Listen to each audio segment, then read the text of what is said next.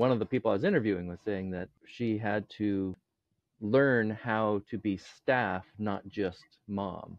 Um, Oh, and, yes. and and sort of, you know, really take on that distinction and be clear about it, which which she felt actually made her a better parent. I went through that in reverse. I became a staff member before Mm. I had children, and it really helped me in my parenting and understanding how to be a parent. But I, I mean, Mm. being a staff is one of the hardest jobs I've ever had. There's no boss, there's no one telling you how to do this. It's only what has Right, happened right. before and what you feel as though you can bring to the table. So it is the most rewarding job I've ever had. Definitely the best job I've ever had, but it is the Mm. hardest job I've ever had because of that.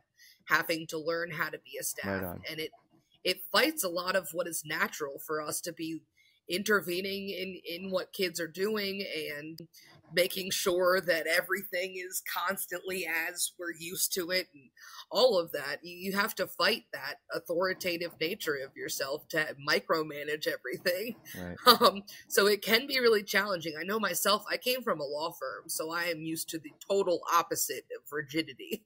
um, so it was Mm. very freeing to be able to come to something so welcoming and open and transparent.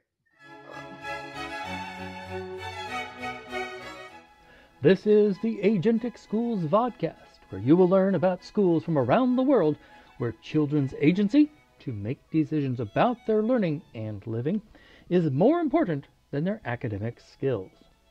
What makes education possible is the satisfaction of psychological needs. So that is what these schools have in common with all others. What makes a school agentic is satisfying those needs particularly well. I'm your host, Don Berg.